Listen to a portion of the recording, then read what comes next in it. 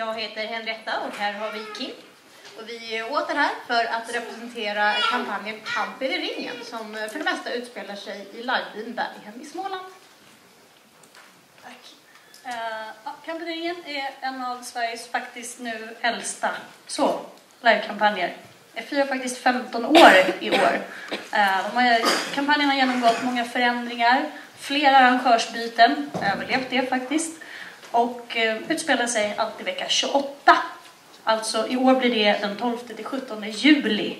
Och i liveavgiften ingår alltid eh, ordentligt med frukost och middag på värdshuset. Eh, årets live kommer heta Ringar på vattnet. Och eh, Kampen i ringen är en vikingainspirerad by och blankvapenkampanj eh, som utspelar sig under tidigt 1100-tal. Och det utspelar sig i det fiktiva landet Hunaland som ligger omgiven av en i stort sett historiskt korrekt omvärld. Och vi är väldigt stolta över att vi har en väldigt bred åldersspridning på livet där eh, ja, det är väldigt många familjer som åker med sina barn. Yes.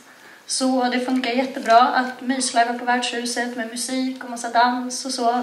Precis som för de som vill ha ett politiskt spel mellan de olika ettorna som livet kretsar kring. Eh, och ett annat viktigt tema är ju konflikten mellan religionerna, asatro och kristendom. Och orsaken till att eh, Hunalands invånare varje sommar tar sig till byn Berghem är på grund av de stora kamperna. Där svärdskampen alltid är den mest prestigefulla. Men numera så finns det en mängd olika kamper där det finns, ja, det måste, finns någon som passar alla. Och eh, vi på, eh, pågår året runt med både mellanspel och deltagarinitierade live. Yes, så det finns en hel del engagerade deltagare som gör saker själva och eh, vill komma varje år, så vi hoppas att ni vill bli en av dem.